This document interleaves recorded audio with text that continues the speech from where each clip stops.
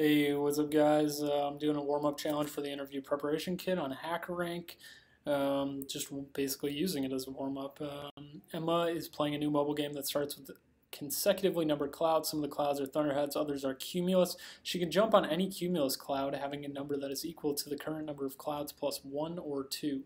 Uh, she must avoid the thunderheads. To determine a minimum number of jumps it'll take Emma to get from the starting position to the last cloud. It is always possible to win the game.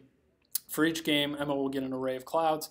Uh, number from zero, zero is safe, one if they must be avoided. For example, we have 0, 1, 0, 0, 0, 0, 1, 0 uh, from indexes 0 to 6. Um, the number of each cloud is its index, so she must avoid the clouds at indexes 1 and 5. Um, she could choose the following two paths, so she takes the minimum number of jumps, right? Um, so 0 is safe, 1 is not safe. She's going to jump over 1s, uh, if there's two zeros in the row, she's going to jump one of the zeros, and because obviously that's going to be faster. Um, and that's pretty much it. It's always possible to win the game, so there's never two ones in a row, and there's always a zero at the end. So this is pretty easy. Um, it's just a loop through the array, so we're going to have int num jumps is equal to 0.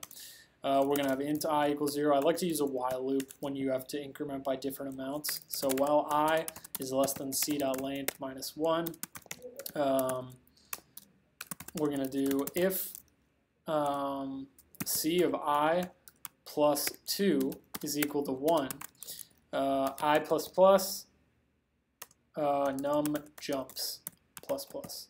So if we see a 1 in the, if we see a 1 two spaces away, then we're only going to jump by one, right? Because then we have to jump that one eventually.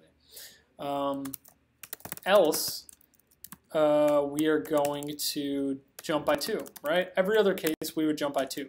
There's no way that we wouldn't jump by two, except there is one. Okay, there is one last case. The last case is if you're at, if you end up at the second last element and then there's a zero at the end. So if, the, if there's a second last element and that there's a zero at the end, then we would do if i plus 2 is equal to c dot length, um, then we would do that. And then we return the number of jumps.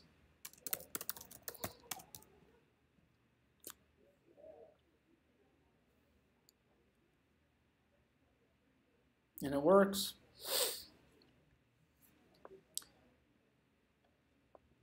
and I'll explain this. Okay, so because, so we're looking through these integer arrays. If we see a 1 in the second position, we jump by 1 because then we have to jump it eventually.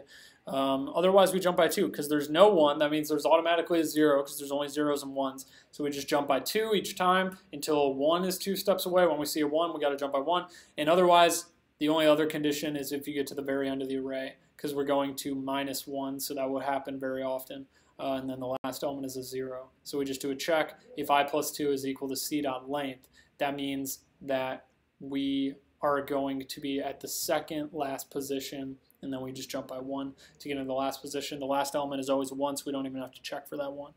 Um, I got confused for a second there, but that's all good. We got the solution pretty easy. Uh, all right, let's do some real problems now. Thanks for watching. I hope this was helpful to you guys. Uh, I think it's pretty straightforward. So um, see you guys next time.